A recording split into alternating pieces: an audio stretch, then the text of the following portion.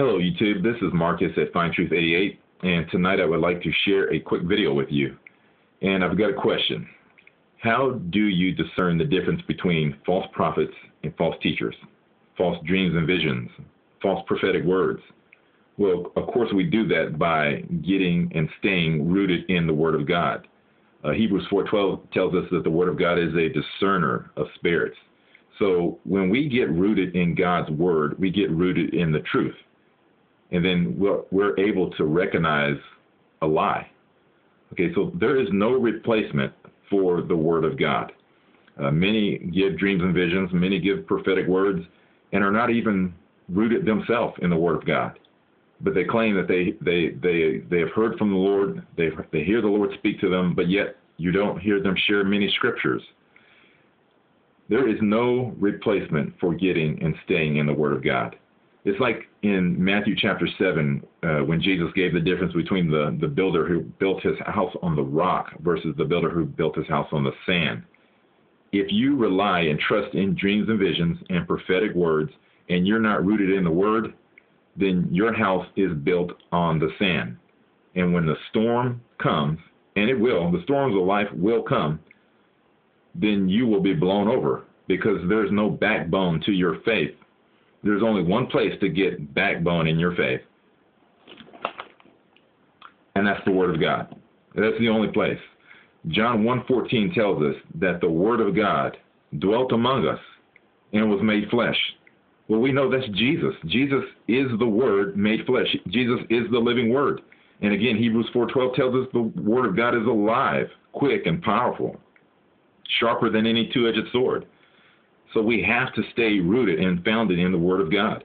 Uh, Ephesians 3:16 through 21 talks about us uh, growing our roots in the love of Christ. So the Word of God is our foundation. The Word of God is our rock.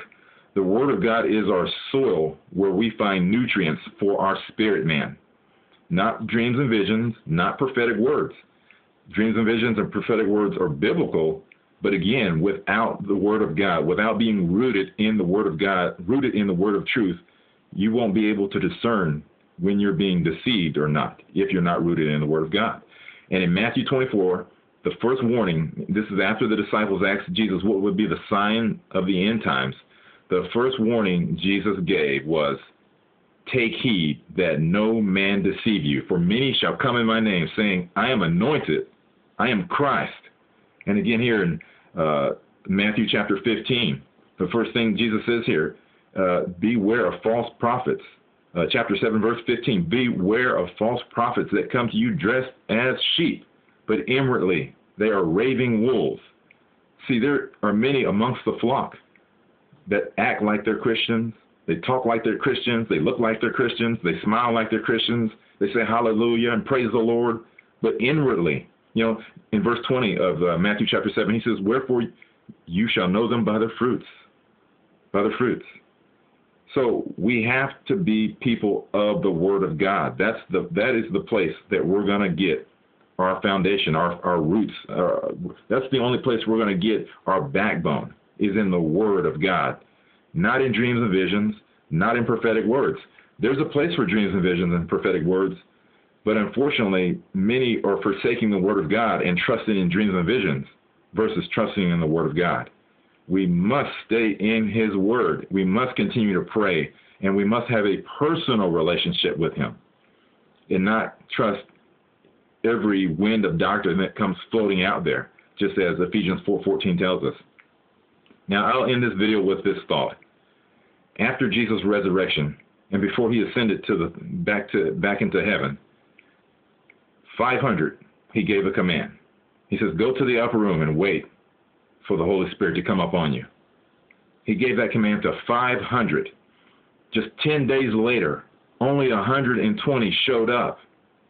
That means 380, it was just a, a party to them, a thrill up their leg because they said, oh, no, no, we're, we're, too busy. I mean, they disobeyed the living God. They saw Jesus with their own eyes, and they disobeyed him just 10 days after the command.